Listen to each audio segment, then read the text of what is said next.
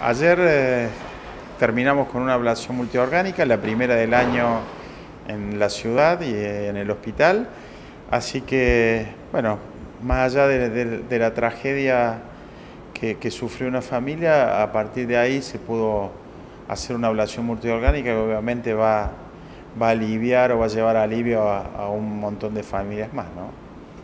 Venimos, Gabriel, de, varias temporadas en donde parece que la concientización ha ido ganando terreno. Que, ¿cómo, vienen trabajando sobre ese aspecto? Sí, la verdad que sí. El año pasado hemos tenido acá en la ciudad una muy buena cantidad de, donación de órganos. Yo creo que terminamos haciendo a partir de, de, los órganos ablacionados acá más de 27 trasplantes, alrededor de 30 trasplantes.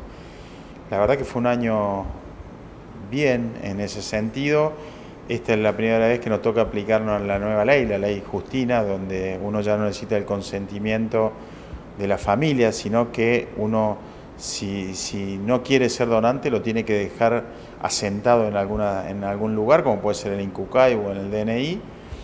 Y, bueno, la verdad que mm, a mí no me deja de sorprender la decisión de la familia, digamos, cómo en una situación de tragedia familiar, aún uno puede pensar en forma no egoísta y en forma solidaria y, permitirle a un montón de gente que, siga con, una expectativa de vida y una mejor calidad de vida.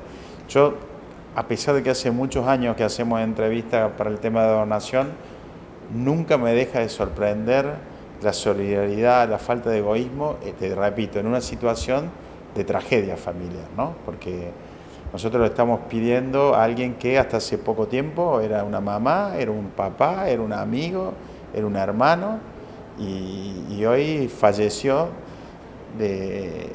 bajo, bajo criterios de, muerte neurológica y puede ser un potencial donante. La verdad que la respuesta de la gente que venimos teniendo realmente es, bárbara. Puede ser que ese, dolor se transforme en esperanza, de que ese órgano siga en otro ser. Yo creo que lo que termina, digamos, convenciéndolo, tanto el equipo de salud como la familia, es, una sonrisa allá lejos, digamos, porque eh, eh, el trasplante no se hace generalmente en la ciudad, se va a Buenos Aires, se va a Córdoba, se va a distintas ciudades del país y lo que nos termina movilizando es, es, beneficiar a alguien que no lo vamos a conocer, pero sabemos que le va a cambiar la calidad de vida. ¿no? Es muy importante y es muy importante que la familia lo hable en su seno familiar. Eso es clave. Por el sí o por el no, pero sí que lo hable. Porque por ahí nosotros no tenemos noción de riesgo en la Argentina. Somos una sociedad que no tenemos noción de riesgo. Creemos que las cosas nunca nos van a pasar. Pero si uno toma este tipo de decisiones y nos tenemos la mala suerte que, tenemos que vivir una situación, para el resto de la familia la toma de decisión va a ser mucho más fácil si saben cuál era nuestra postura. Si nosotros queríamos ser donantes o no queríamos ser donantes, pero sí la toma de decisión en una situación de tragedia para aquel que queda, si uno lo charló previamente, obviamente que, es mucho mejor. ¿no? En el caso de ayer, ¿dónde, ¿dónde fueron trasladados los órganos?